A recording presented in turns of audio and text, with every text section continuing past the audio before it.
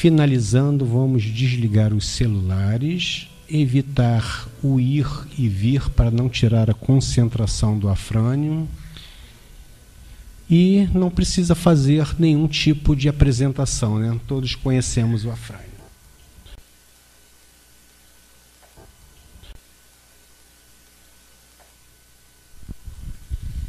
Bem, meus amigos, muito boa tarde. Prazer estar aqui mais uma vez na tribuna. E para ficar com a consciência tranquila, já que a página é sobre consciência, né? Eu resolvi falar sobre aquele tema que da última vez eu deveria ter falado e não falei, né? O êxtase e a dupla vista, né? Porque eu achei que esse tema aí ia ficar muito, muito técnico e tudo mais, mas eu percebi que uma parte do pessoal que estava aqui naquela data disse assim: Poxa, Fernando, mas eu queria saber mais sobre o êxtase e a dupla vista. Ficou meio frustrado porque não trouxe o tema. Então eu disse: Bom, então hoje eu vou falar sobre o êxtase e a dupla vista para que a gente cumpra a programação da casa. Nós estamos estudando o livro dos Espíritos e esse é o momento de estudarmos esse tema. Então tá aí. O êxtase e a dupla vista está dentro de um capítulo do Livro dos Espíritos que fala sobre a emancipação da alma. Né? Vai da questão 400 a 455. O êxtase e a dupla vista é justamente o finalzinho desse capítulo. Vai da 439 a 455. Mas é bom, antes de nós adentrarmos propriamente no tema, é bom a gente fazer algumas considerações aí a esse respeito. Em primeiro lugar, a gente precisa saber que na doutrina espírita a gente conhece dois tipos de fenômenos. Os fenômenos que a gente chama de fenômenos anímicos, está lá, ó, de ânima, alma, que é aquele produzido pelo próprio espírito encarnado, e os fenômenos mediúnicos, né, que vem de médium, meio, que são aqueles que têm, são decorrentes da intervenção de espíritos. Em outras palavras, nos fenômenos anímicos, é, o que acontece é a própria alma da pessoa que se exterioriza e produz o fenômeno. Né? O êxtase e a dupla vista, como nós vamos ver, é um fenômeno, são fenômenos anímicos. Eles decorrem da própria alma do médium, da própria alma da pessoa vou evitar falar a palavra médio, da própria alma da pessoa. Quando nós falamos fenômeno mediúnico, bem, aí existe a intercessão de um espírito. Né? Então, por exemplo, Chico Xavier, quando recebia as comunicações, não era ele que estava que estava dando a comunicação, que estava dando a mensagem, não era o pensamento dele, era o pensamento de um espírito que se aproximava dele e através da faculdade mediúnica dele, trazia a sua, o seu pensamento, escrevia o seu pensamento no papel. Joana de Ângeles, quando nos trouxe agora essa mensagem que acabou de ser lida através da mediunidade de Walter Pereira Franco, na verdade, ela transmitiu o seu pensamento ao Divaldo. Não é o pensamento do Divaldo, é o pensamento dela, Joana de Ângeles. Fenômeno mediúnico, portanto. Quando você tem um médium, é fenômeno mediúnico. Então, nós precisamos entender que há diferença entre fenômeno anímico e fenômeno mediúnico. Né? Então, é aquilo que eu já estava dizendo lá, o fenômeno, o livro dos Espíritos nos fala nos fenômenos de emancipação da alma, são esses fenômenos anímicos. E esses aqui embaixo são os fenômenos que são estudados no livro dos Espíritos. Aqui, ó. Mencionado no livro dos Espíritos: sonhos, visita espírita entre pessoas vivas, transmissão oculta do pensamento, letargia e catalepsia, tudo isso é fenômeno anímico. Sonambulismo, êxtase, dupla vista. E o livro dos Espíritos não esgota o assunto. O livro dos Médios fala também de bicorporeidade, transfiguração. Né? Nós poderíamos falar de outros fenômenos anímicos que não estão aqui listados, porque não é o objetivo. Mas a gente já vem estudando isso Estou talvez até só recapitulando aí para que, que a assistência não é sempre a mesma em todas as palestras. Pode ser que alguém não tenha frequentado aí as, as aulas que falaram sobre sonhos, por exemplo, né? Por que, que o sonho é um fenômeno anímico? Né? Porque o sonho é um fenômeno da própria pessoa encarnada. Nós vamos lá, dormimos, né? naquele momento que o nosso corpo está relaxado, descansando o corpo, nós espíritos, porque nós somos espíritos, nós vamos ao mundo espiritual e levados pelas nossas afinidades vibratórias, a gente vai para regiões no mundo espiritual com as quais nos afinizemos. Então, nós espíritos estamos é, no mundo espiritual. O sonho é isso, né? Essa é nossa experiência no mundo espiritual, a experiência do próprio espírito da pessoa, fenômeno anímico. Entenderam? Então é isso que a gente é, precisa entender quando a gente estuda esse tema. E eu esclareço mais: né? nos fenômenos anímicos, o espírito encarnado se desprende do seu corpo físico e entra em comunicação com outros espíritos desencarnados ou encarnados. Quer dizer, não é necessariamente a gente se desprende do corpo físico e entra em contato com um outro, apenas com o espírito desencarnado. Não, a gente pode entrar em contato com o espírito encarnado. Né?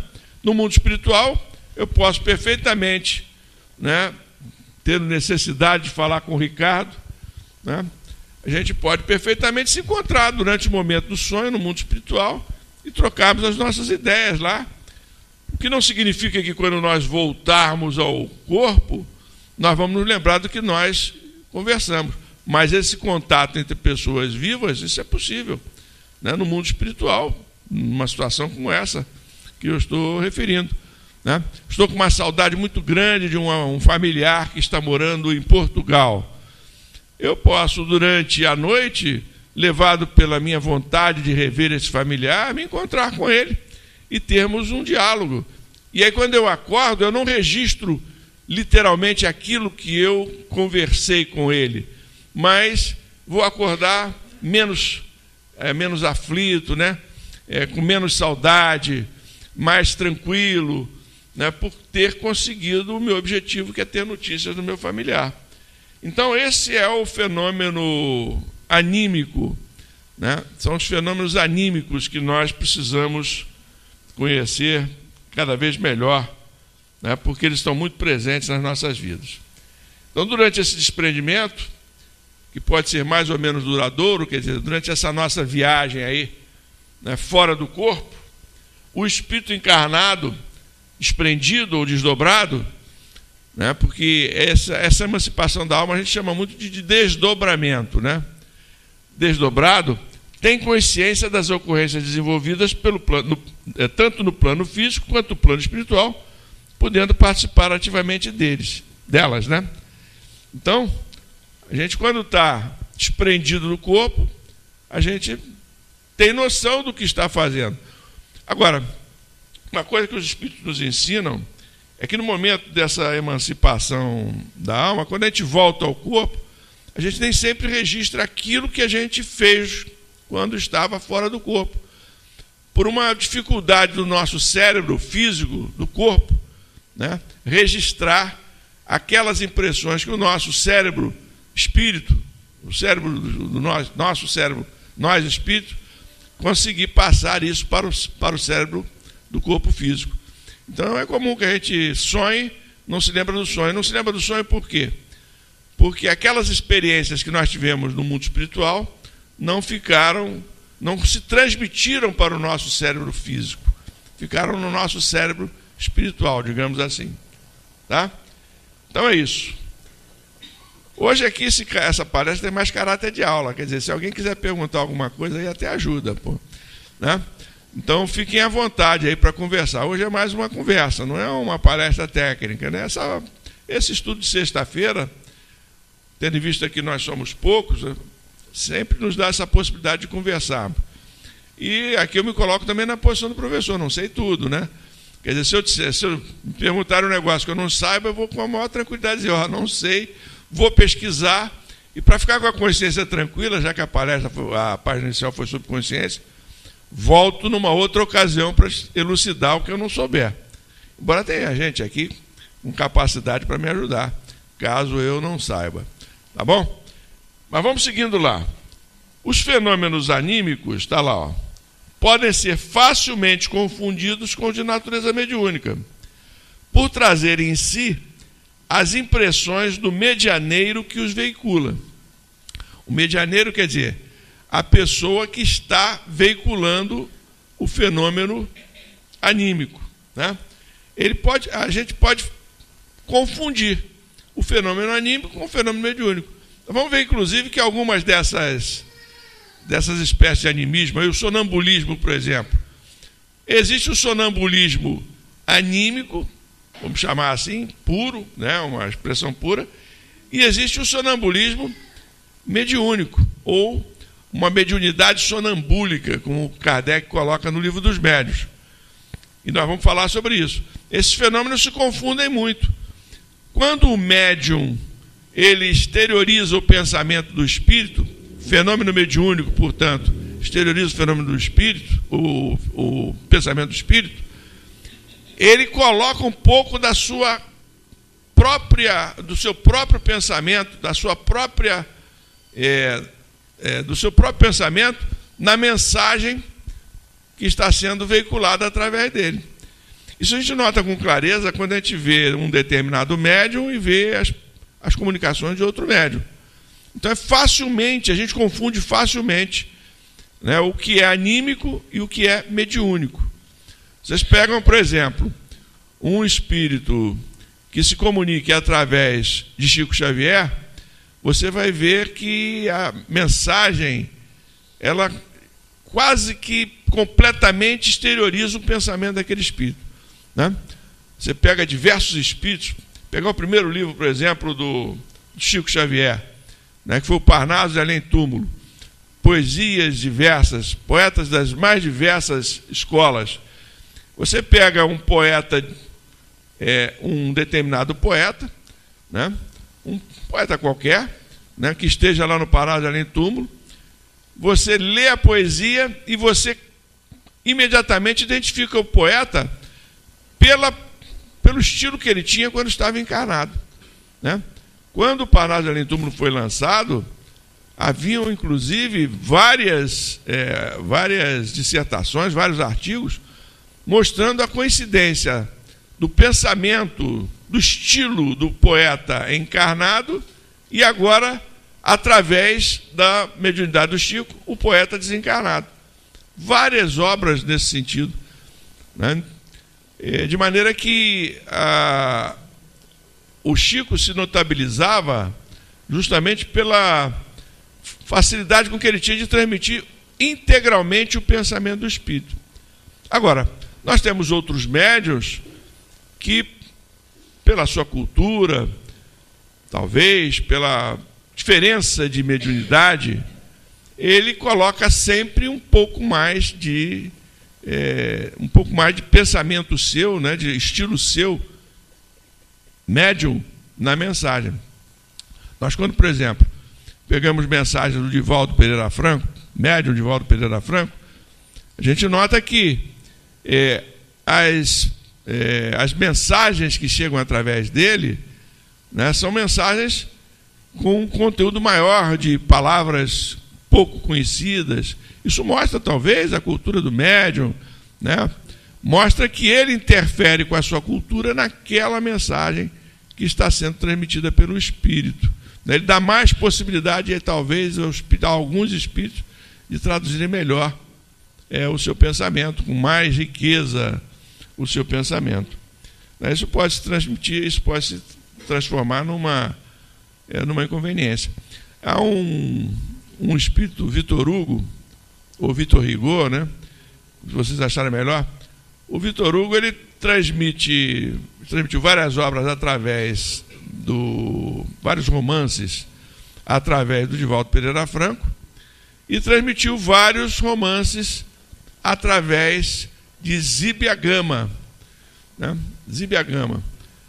Tem aqui na biblioteca, se depois vocês quiserem fazer uma, uma comprovação, Pegue um dos romances que foi transmitido pela Zíbia Gama, vocês vão ver que o estilo de Vitor Hugo é um. É um estilo bem próximo do Vitor Hugo que a gente conheceu quando estava encarnado. Quando ele escreveu, por exemplo, Os Miseráveis, né? Quando ele escreveu Os Trabalhadores do Mar, vários romances. Ele tem um estilo próprio dele encarnado. O estilo dele, através da Zíbia Gama, é bem próximo do estilo dele encarnado.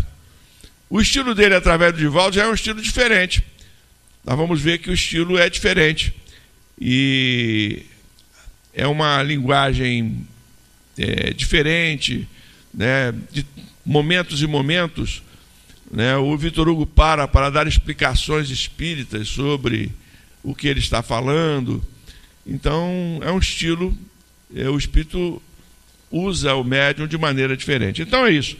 Às vezes a gente confunde o que é anímico do que é mediúnico quando a gente tem uma exteriorização, uma exteriorização desse tipo. Eu coloquei aí uma transcrição do livro Correnteza de Luz, do Espírito Camilo, que foi que veio através do Zé, do Zé Raul Teixeira. É um livro antigo, né? Essa edição é de 91, e ele fala lá: É oportuno lembrar que em todo e qualquer fenômeno mediúnico, a presença do fator anímico é inevitável. Pelo fato de o comunicante espiritual valer-se dos elementos biológicos, psicológicos e culturais do médium. É o que nós estamos falando. Para elaborar e exteriorizar a sua mensagem. Espera-se que a interferência anímica não ultrapasse as linhas do admissível, digamos do suportável. Né? Então o que a gente espera é que o médium, ao transmitir a mensagem do espírito, né, o fator anímico seja o mínimo possível. É aí que o Chico levava vantagem sobre os outros médios, porque era como se o próprio espírito estivesse, é, o próprio é, espírito do desencarnado estivesse inteiramente ali com o seu estilo. Há momentos, inclusive, que o espírito desencarnado, ele, a assinatura dele corresponde à assinatura que ele tinha quando estava encarnado. Bom, então acho que isso está claro, né? Se é certo afirmar que todo fenômeno mediúnico tem o seu componente anímico, é igualmente correto dizer que os fenômenos anímicos são secundados por ação mediúnica. Quer dizer, há uma correspondência. Se o fator anímico interfere numa comunicação mediúnica, numa, comuni numa, numa manifestação anímica, o fator mediúnico também interfere. No momento que nós vamos dar o passe aqui, né, ao final, quando a gente dá o passe no final, nós sabemos que existem três tipos de passe né? o passe magnético, o passe espiritual e o passe misto. Ora, quando o Mesmer, Mesmer, Franz Anton Mesmer, criou é, uma prática que depois ficou conhecida como mermerismo, que era justamente uma prática de imposição de mãos, que hoje nós chamaríamos de passe magnético, né? hoje nós chamaríamos de passe magnético, ele achava que apenas apenas o magnetismo dele que concorria para ajudar a pessoa. Mas hoje a gente sabe que no momento que a gente impõe as mãos sobre cada um daqueles que está na condição de paciente, nós estamos doando o nosso magnetismo, mas nós estamos também recebendo o magnetismo dos espíritos que estão ali nos auxiliando, especialmente numa casa espírita. Então, o fator anímico aí que é a transmissão do passe magnético, ele também é, é adicionado aí pelo fator é, mediúnico, né? A presença do Espírito ali junto conosco aplicando o passe. Né? Então é isso que a gente precisa compreender.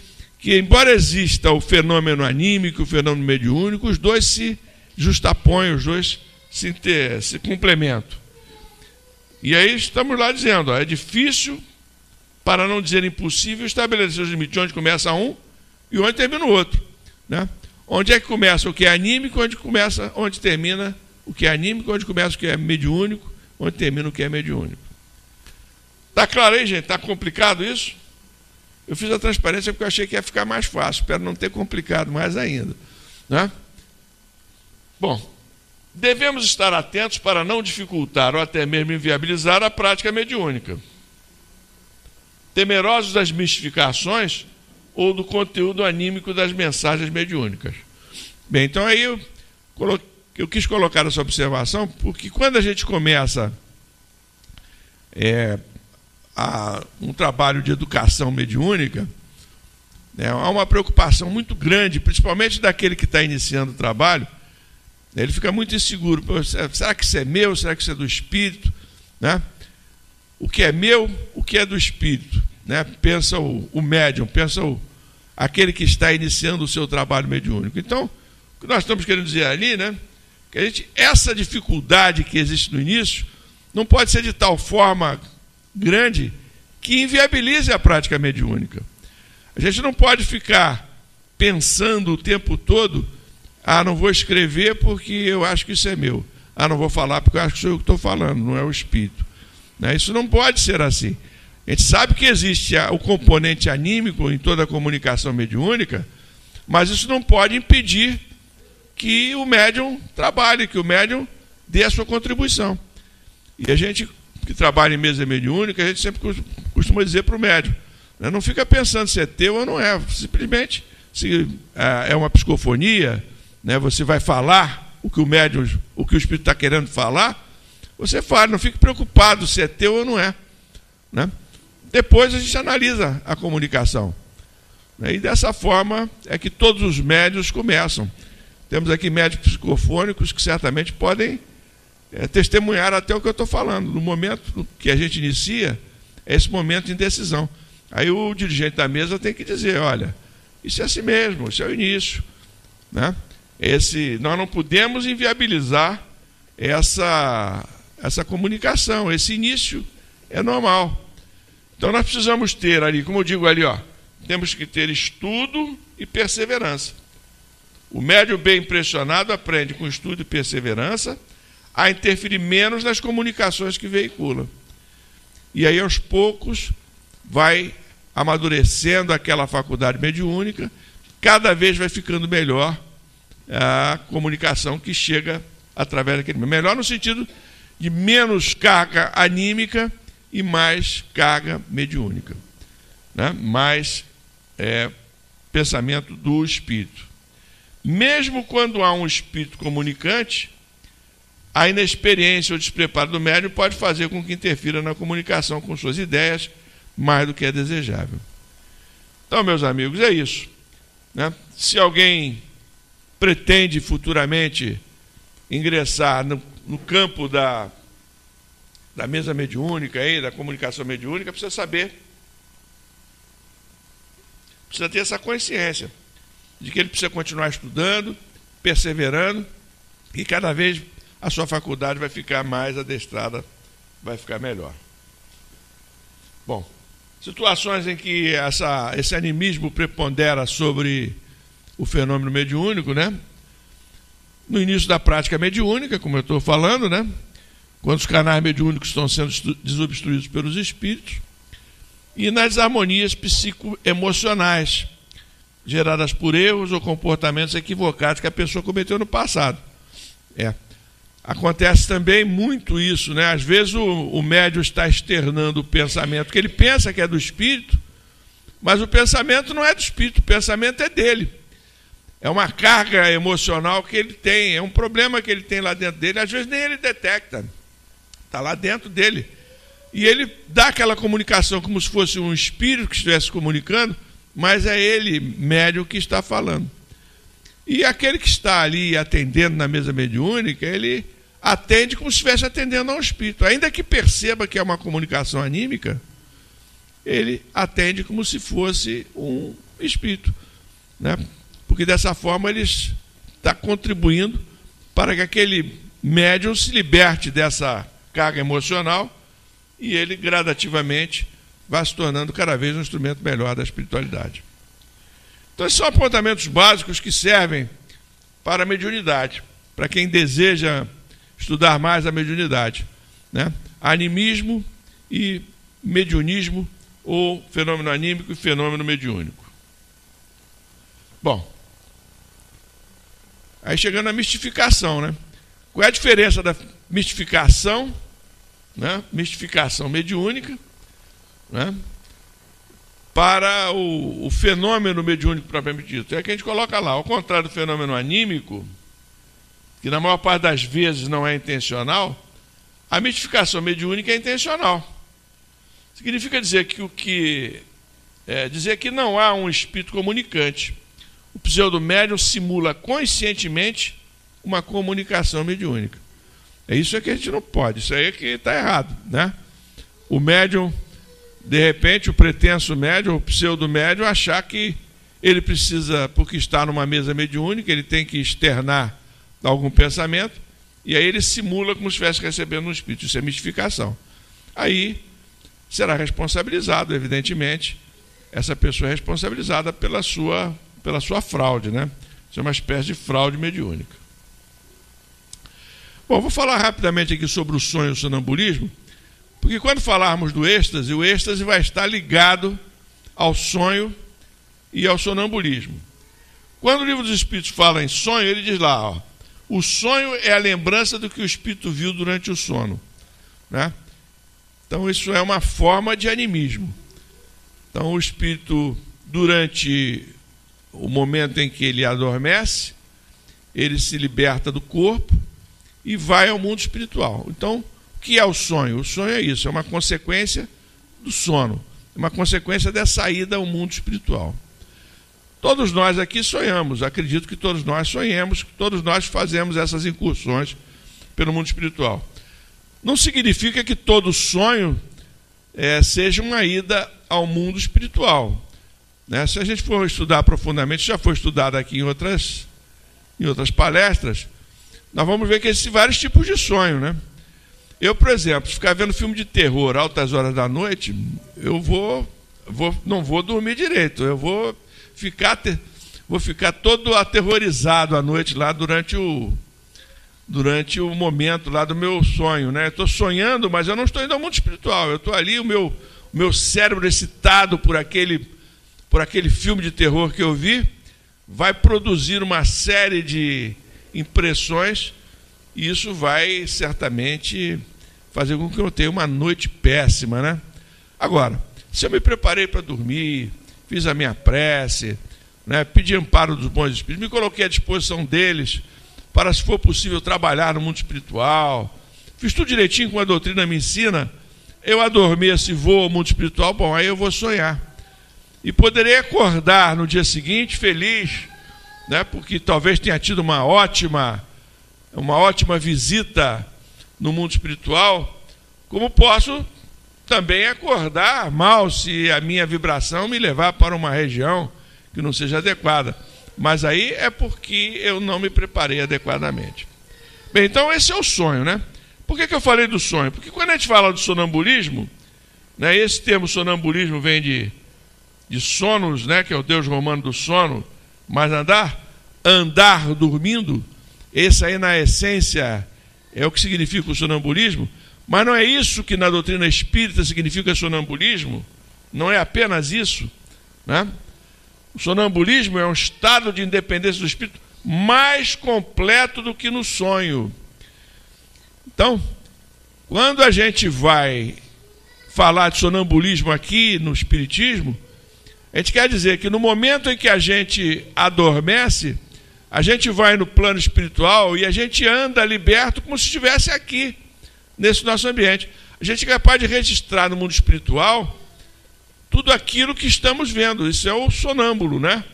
O sonâmbulo ele vê no mundo espiritual, ele vê o mundo espiritual como nós estamos vendo aqui o mundo material, né? Aí você pode dizer assim: "Ah, que legal, né?" Legal, se a gente for para lugares bons vai ser legal, mas se for para lugar ruim também vai ser aterrorizante, né? Mas essa é a ideia do sonambulismo. Andar dormindo nesse sentido. Nós estamos, o corpo está adormecido, o espírito se liberta do corpo, vai ao mundo espiritual e tem as experiências no mundo espiritual. Né? Tem um, um, livro da Ivone Pereira chamado Devassando o Invisível, que ela, ela conta as experiências dela nesses momentos de desdobramento. Né? Nesses momentos que ela vai ao mundo espiritual e ela tem lucidez no mundo espiritual. Ela se recorda de tudo que ela vê no mundo espiritual. E ela volta depois e narra tudo para nós. Então tá lá, ó. Diz lá o, a, o livro dos Espíritos 425. Mais complexo do que no sonho, mais completo do que no sonho, estado em que maior amplitude adquire suas faculdades. A alma tem então percepções que não dispõe no sonho, que é um estado de sonambulismo imperfeito. No sonambulismo, o espírito está na posse plena de si mesmo. Né? É importante não confundir sonambulismo natural provocado com mediunidade sonambúlica. É o que eu já tinha falado. O sonambulismo natural ou provocado é esse, que o médium vai ao plano espiritual e traz no plano espiritual recordações do que ele viveu no plano espiritual. Ele age como se fosse, é como se estivesse no mundo material. Então, o sonambulismo natural, que é o primeiro caso, ocorre um fenômeno anímico de emancipação da alma. O espírito encarnado obra por si mesmo. No segundo caso, os médios em estado de sonambulismo são assistidos por espíritos. Né? No segundo caso, que é o da mediunidade sonambúlica, o médium ele é assistido por espírito. Veja como o assunto é complexo, né? Quando a gente fala de sonambulismo, a gente pensa que é um negócio só.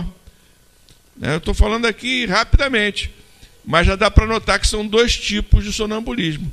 Né? Existe o sonambulismo natural e existe o sonambulismo mediúnico. O médio sonambúlico é, portanto, um instrumento passivo. Opa, desculpe. É um instrumento passivo. E o que não, e o que diz não vem de si mesmo, mas do espírito que utiliza da sua mediunidade. É o fenômeno mediúnico. Então, o médio sonambúlico, ele transmite o que o espírito está falando para ele. Essa é a diferença do sonambulismo natural para o médio sonambúlico. No livro Nos Domínios da Mediunidade, está aqui, ó, no capítulo 8, nos parágrafos 33 e 34, o André Luiz mostra como atua um médium sonambúlico. O nome dela é Celina. Né? Nós estamos estudando esse livro, né? e o pessoal que está estudando se lembra muito bem. Essa Celina é uma médium admirável. É uma médium com uma mediunidade extremamente é, adestrada.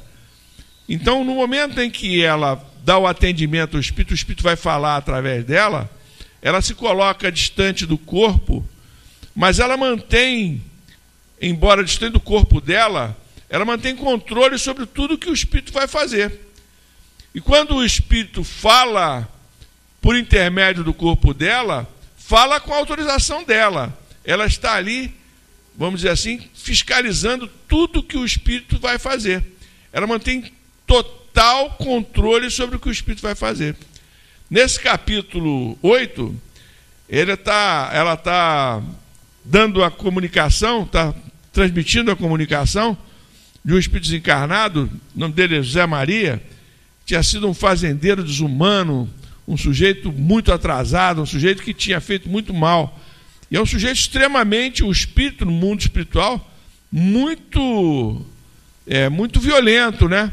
E ela com a sua com a sua tranquilidade, com o seu preparo espiritual, ela consegue conter toda aquela violência do espírito e consegue transmitir a comunicação dele com tranquilidade. Essa médium celina, portanto, é um exemplo de médium sonambúlico. Eu queria trazer um exemplo para vocês. Trago então do livro Nos Domínios da Mediunidade. Né? É um dos livros do André Luiz, um dos últimos livros dele, né, da série André Luiz Vale a pena ler, vale a pena estudar. Enquanto o sonâmbulo exprime o próprio pensamento, o médio sonambúlico exprime o de outrem. Confabula com os espíritos e nos transmite os seus pensamentos. Exatamente o que faz a Celina com esse José Maria. Médio sonâmbulo, sonambúlico, portanto, é aquele que está de trânsito, se desprende do corpo, e nessa condição de liberdade, liberdade entre aspas, nos descreve o que vê, o que sente e ouve no mundo espiritual.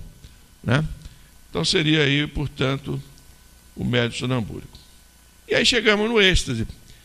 E vou explicar por que, que nós precisamos ter falado aí do sonambulismo um pouquinho, para que a gente entenda o êxtase.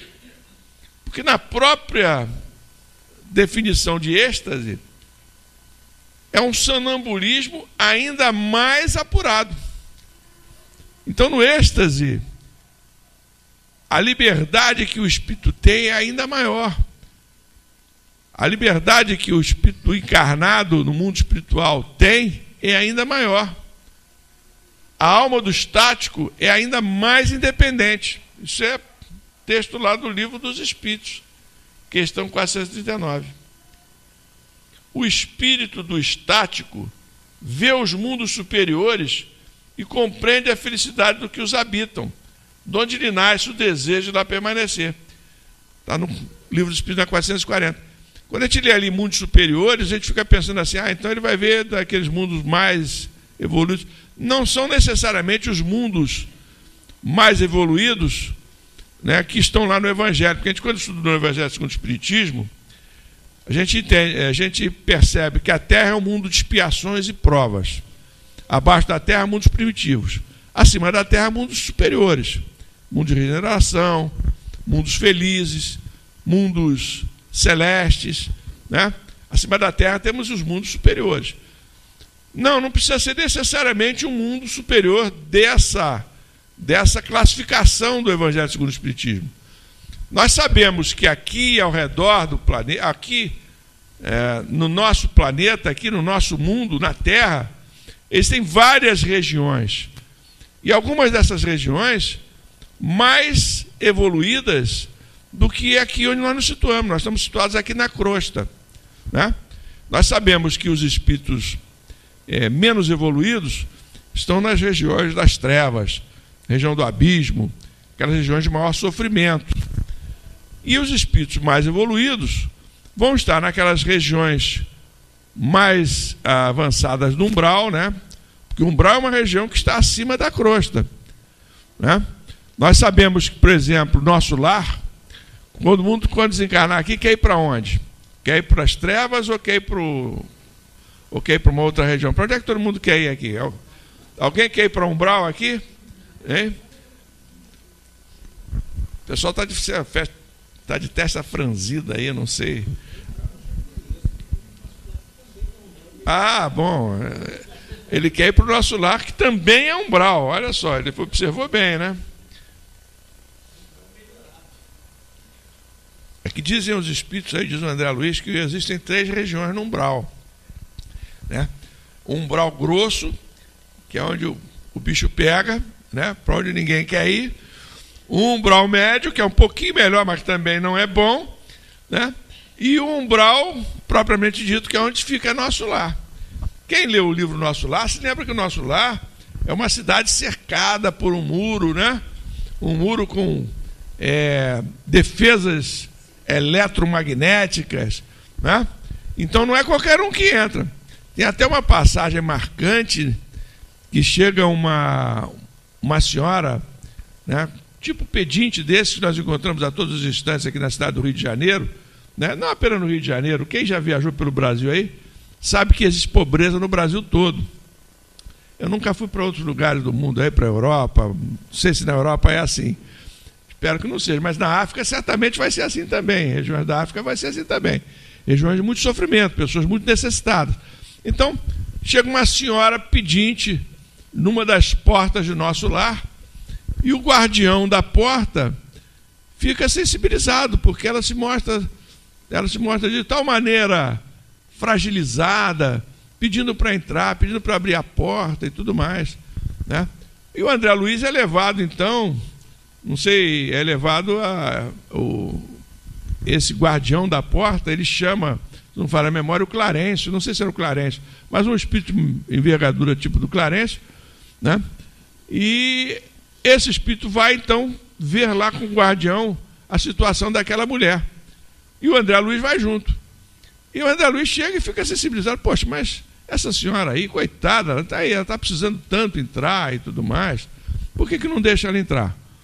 Aí o, o, a pessoa lá, o, vou chamar de Clarence, ele diz assim: Bom, vou fazer o seguinte, eu vou fazer aqui uma, uma magnetização aqui na, no teu centro, é, onde você possa ver, né? Para você ver melhor o que está acontecendo.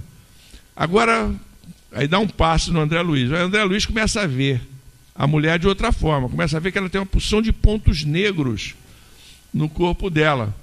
E aí ele fica intrigado, é, mas que são esses corpos, esses pontos negros, esses corpos negros aí ao redor dela?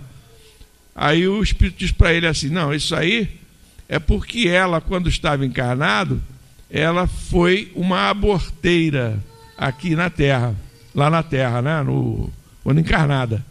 Então ela tem esse compromisso de todos esses espíritos aí é, é, junto dela. Ela não tem condições de estar em nosso lar. É um espírito que precisa passar ainda por um processo de resgate. Não pode entrar, portanto. Então não é qualquer um que entra em nosso lar. Precisa ter condições para entrar em nosso lar. Então todos nós queremos ir para regiões melhores quando desencarnarmos.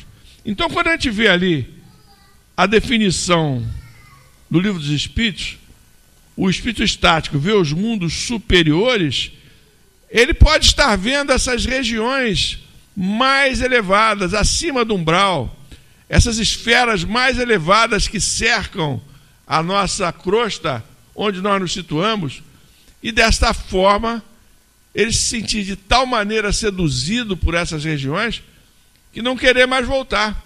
O, espírito, o problema do, do espírito é, do, do, do estático, né? No momento que o estático tem essa, esse vislumbre desses mundos superiores, é ele não querer mais voltar. Né? Ele querer se desprender do corpo. Mas para ele se desprender do corpo definitivamente, ele tem que desencarnar. Ele tem que morrer. Isso é um risco. Então, quando o espírito é estático e não é um espírito ainda, o espírito que quer dizer o encarnado, né? Ele é estático, né? Ele precisa e não está ainda devidamente consciente da sua faculdade anímica, ele precisa ser cuidado, controlado, para que ele de repente não resolva desencarnar e ficar lá pelo mundo espiritual, né? Essa questão do estático aí, ó, é esse, o êxtase é também chamado de arrebatamento. E a gente vê que é, é um estado psíquico de extraordinária elevação. É descrito aí por vários santos, em relação a vários santos, né? Aí eu fui fazer uma, uma pesquisa aí para ver que santos é, tinham esse tratamento, tinham, é, tinham entrado em êxtase, né? E aí eu vi ali que, por exemplo, Santa Teresa d'Ávila, né? Santa Brígida, Santo Antônio de Pádua. O Santo Antônio de Pádua, ele no estado de êxtase, ele acarinhava o menino Jesus. Outros santos levitavam enquanto tinham suas visões beatíficas, né? Então, então no, no êxtase eles tinham essas visões. Santa Teresa d'Ávila, né? Tem até um manual de como atingir o êxtase, né? tem uma série, são quatro passos para atingir o êxtase. Santa Brígida. Então, na Igreja Católica, nós temos aí o registro de vários santos que eram estáticos, né? vários é, companheiros que, quando encarnados, eram estáticos. Mas no livro Nos Domínios da Mediunidade, mais uma vez, essa médium Celina, né? essa médium Celina, ela é uma médium tão especial, essa moça, né? Que no capítulo 13 ela entra em êxtase para transmitir a mensagem de um mensageiro do mundo espiritual mais dessas regiões mais elevadas da nossa do mundo espiritual, desses mundos superiores, né? E aí quando ela entra em êxtase, é muito bonita essa passagem, né, para transmitir essa palavra do benfeitor espiritual ela, ela se transforma completamente, né? Ela dá integralmente a mensagem daquele espírito. É um momento muito bonito no livro. Então não é um privilégio dos santos da igreja, é isso que eu quero dizer, né? É uma coisa até comum, né? O médium estático, esses médios mais capacitados, esses médios mais treinados. Né? Então é aquilo que eu falei: se deixasse o estático entregue a si mesmo, ele vai querer ficar no mundo espiritual está no livro dos Espíritos, mas isso não é possível, porque senão ele desencarna. Bom, vamos ultrapassar aqui, vamos para a dupla vista, segunda vista ou clarividência. Esse aqui é um fenômeno ainda mais interessante. É tudo a mesma coisa, dupla vista, segunda vista ou clarividência. O livro dos Espíritos chama de dupla vista. Outros estudos chamam de segunda vista ou de clarividência. Né? É o que se chama de dupla vista, é o resultado da libertação do espírito sem que o corpo seja adormecido. A dupla vista ou segunda vista é a vista da alma. Né? A gente então não olha com os olhos físicos, a gente vê, como a gente costuma dizer, né? com os olhos do espírito. Né? É os olhos da alma. Né? Já que nós estamos encarnados, é os olhos da alma, porque a alma é o espírito encarnado. As gradações da dupla vista variam de pessoa para pessoa e de circunstância para circunstância. Nem todo mundo as possui, as possui no mesmo grau e com as mesmas características. Kardec definiu com muita precisão o poder da vista dupla varia indo desde a sensação confusa até a percepção clara e nítida das coisas presentes ou ausentes. Né? As coisas que estão naquele momento, que estão no local ou que estão, não estão naquele local. Quando rudimentar, confere a certas pessoas tato, perspicácia, uma certa segurança dos atos, a que se pode dar o qualificativo de precisão de golpe de vista moral. Um pouco desenvolvida, desperta os pressentimentos. Mais desenvolvida, mostra os acontecimentos que se deram ou estão por dar-se. Então, a dupla vista é, tão, é um fenômeno tão interessante, um fenômeno anímico tão interessante, que ela possibilita, ela pode permitir que haja uma certa é, é, uma certa previsão do que vai acontecer. Pode ver, nós podemos ver o que aconteceu, como podemos ver o que vai acontecer, né? Então eu me lembro que o Chico relata que quando ele estava escrevendo aqueles romances históricos, Paulo Estevão, por exemplo, que é um romance lindíssimo, né? Ele narra que quando ele ia escrever o Paulo Estevão, ele era preparado por Emmanuel para ir ao mundo, para ter o registro daqueles momentos no mundo espiritual em que Paulo viveu, né? Uma espécie de dupla vista, né? Ele estava registrando o que aconteceu no passado. Ele estava vendo o que aconteceu no passado. Conforme o grau de lucidez, diz que a lucidez é maior, conforme o grau de poder da faculdade, diz que a lucidez é maior ou menor. Né? Assim, nem sempre a percepção extrasensorial se faz nitidamente. As imagens podem ser nevoentas, vagas, imprecisas, da mesma forma que se podem produzir com notável nitidez. O clarividente pode ver espiritualmente aquilo que se encontra no próprio ambiente onde ele está as coisas presentes, aqui eu estou detalhando um pouco melhor, na época em que ele se encontra, momento presente, ou aquilo que está no lugar diferente do que ele está, em localidades próximas e distantes, em outras cidades ou países, coisas ausentes, ou até mesmo em outros mundos, no caso de clarividência estática, ou aquilo que percorreu em outras épocas, visão do passado, e até o desenrolar dos fatos futuros. Então essa dupla vista é um fenômeno assim extraordinário, né? Só que não é um fenômeno comum, mas é um fenômeno extraordinário. Onde é que nós vamos encontrar exemplos seguros de dupla vista? Vamos encontrar em Jesus, né? Então nós temos aí três momentos da, narrados nos evangelhos sobre Jesus em que a gente percebe que Jesus tinha dupla vista. Né?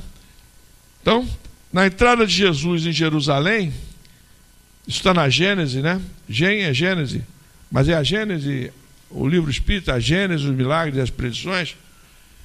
Diz lá o, o Evangelho: quando eles se aproximaram de Jerusalém e chegaram a Betfagé, perto do Monte das Oliveiras, Jesus enviou dois de seus discípulos, dizendo-lhes: Ide a essa aldeia que está diante de frente de vós Lá chegando, encontrareis uma jumenta amarrada e junto dela o seu jumentinho. Desamarrai-a e trazei os dois para mim.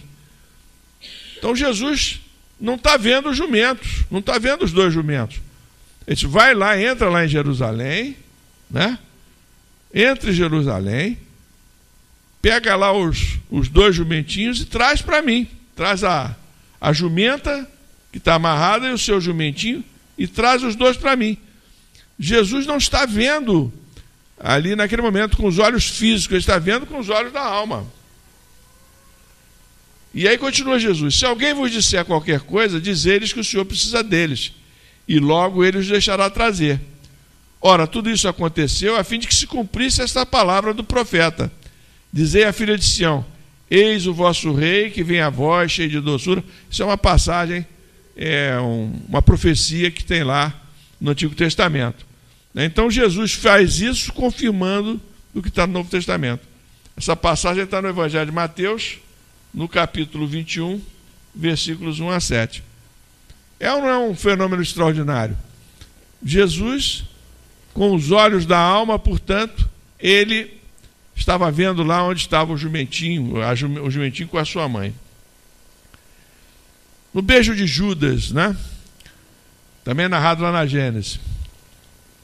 Levantai-vos, diz ele para os discípulos, vamos, aquele que há de me extrair, aproxima-se daqui. Não havia ainda acabado de dizer essas palavras quando Judas, um dos doze, chegou e com ele uma multidão de pessoas armadas de espadas e de paus, que haviam sido enviadas pelos príncipes dos sacerdotes e pelos anciãos do povo. Ora, aquele que o trairia lhes deram um sinal para que o reconhecessem, dizendo-lhes: Aquele que eu beijar é esse mesmo que vós procurais, apoderai-vos dele. Então, Jesus, antes do Judas chegar, né, para identificá-lo para os guardas que iriam prendê-lo, Jesus disse: Aquele que há de me trair, aproxima-se daqui. Jesus estava vendo o que ia acontecer. É presciência, portanto, prevendo aí coisas que ainda iam acontecer. E aqui é a conclusão, né? Logo, pois, ele se aproximou de Jesus e lhe disse: Mestre, eu vos saúdo, e o beijou. Jesus lhe respondeu: Meu amigo, o que vieste fazer aqui? E ao mesmo tempo, todos os outros avançando lançaram-se sobre Jesus e se apoderaram dele. Momento que Jesus então é capturado lá no, no horto, né? Uma outra passagem, essa aqui então mais mais clara ainda, né, da pesca milagrosa, essa mais conhecida de todos nós, né? Jesus estava à margem do lago de Genezaré, né? essa eu vou resumir. Então, Jesus estava lá à margem do lago e os pescadores haviam desembarcado, tinham chegado de, das pescarias, não tinham conseguido pescar nada. Né? Jesus começa a pregar, né? e aí, em dado momento, quando ele acaba de falar, ele diz a Simão: avança pelo meio da água e lança as tuas redes de pescar. Jesus vê então que naquele momento ali os peixes estavam próximos. E o Simão, Pedro, obediente, diz: Mas, mestre, a gente trabalhou a noite toda né, e não acompanhamos, não acompanhamos nada. Com tudo como manda, lançarei a rede. Né? Que obediência, né? Que fé. E aí lança a rede e apanha uma grande quantidade de peixes, chama o pessoal do, do outro barco para ajudá-los. Quer dizer, Jesus, com a sua dupla vista, com a sua clarividência, ele tinha visto o cardume e tinha, portanto, é, conseguido, é, dessa forma, orientar os pescadores. A pesca qualificada de milagrosa também se explica pela dupla vista. Aí é o Kardec falando. Jesus não produziu espontaneamente peixes onde eles não existiam. Ele viu com a vista da alma, tal como um lúcido vigilante teria podido fazer o lugar onde os peixes se encontravam e pôde dizer com segurança aos pescadores que lançassem ali as suas redes. E aí Kardec completa. Esse fato não tem nada de milagroso, porque a gente chama de pesca milagrosa. Na verdade, Jesus exercitou a sua clarividência, a sua dupla vista, que ele a possuía em grau máximo. Né? Então é isso, meus amigos. Simplificadamente, falando sobre o assunto, é esse é o estudo que a gente podia fazer sobre é, o êxtase e a dupla vista. São fenômenos anímicos, como nós vimos. Todos nós, portanto, somos capazes de realizar pelo menos um desses fenômenos anímicos aí, que é o do sonho, né? Todos nós sonhamos. Todos nós podemos, portanto, ir ao mundo espiritual, registrar aí o, os acontecimentos, as, coisas que vivemos no mundo espiritual e isso pode contribuir para o nosso é, aprimoramento espiritual. Os livros de André Luiz narram vários casos de espíritos encarnados que vão ao mundo espiritual contribuir com a espiritualidade durante o sonho. Mas nós ficamos sabendo também que existem vários outros fenômenos anímicos, né, como o sonambulismo, como o êxtase, a dupla vista, né, a telepatia, né, de maneira que isso aí é apenas uma forma de nós nos sentirmos mais estimulados a prosseguir nos estudos. E para que nós encerremos o nosso trabalho de hoje, vou ler aqui uma, uma página do livro da Maria Dolores, né? porque todo esse, esse tema que a gente estudou está ligado à fé. Vimos aí nesse finalzinho a fé do Pedro, né? Mestre, nós tentamos a noite toda pegar peixe, não conseguimos. Mas já que o senhor está querendo que a gente que a gente lance as redes, nós vamos lançar as redes. E obedientemente o Pedro vai lá e lança as redes. A fé é isso, né?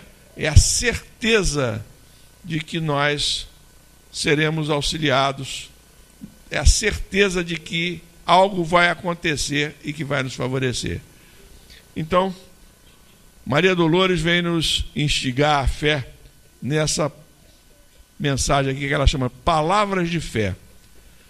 Nunca te des por inútil, mesmo em ação de alto nível. Não afirmes impossível, nem digas, nem te digas sem valor. Deus em ti a própria vida, mantendo-te instante a instante em doação incessante por fonte viva do amor. Não és um astro, no entanto, tens força estranha e bela, de acender a luz da vela, dissipando a escuridão. Não inventaste a semente, nem a romã cetinosa, não sabes tecer a rosa, mas podes assar o pão. Não fulguras qual brilhante, nem tens a força do vento, em redemoinho violento, quando ruge a destruir, mas tens o conhecimento de quem guia a natureza, exterminando a tristeza no dom de fazer sorrir. Não esmoreças no mundo, trabalha, ajuda, esclarece. Tens o verbo, a voz, a prece. São sem conta os dotes teus. Ampara, acalma e perdoa. Qualquer migalha do bem, na terra e no mais além, é bênção do amor de Deus. Então é isso, meus amigos. Não esmoreçamos no mundo. Trabalhemos, trabalhemos sempre. E certamente estaremos cumprindo a nossa finalidade da nossa encarnação. Desculpem aí se o tema ficou um pouco mais é, um pouco mais pesado. Para quem gosta de estudar como eu, foi uma delícia. Agora, quem não está muito acostumado ao estudo, pode ter sentido um pouco de dificuldade. Mas espero que tenha sido útil para todos. Tá? Muita paz, que o Senhor Jesus continue nos, nos amparando nesta tarde, que como o Ricardo tanto exaltou, uma tarde com a temperatura exata, né? temperatura perfeita para todos nós. Muita paz.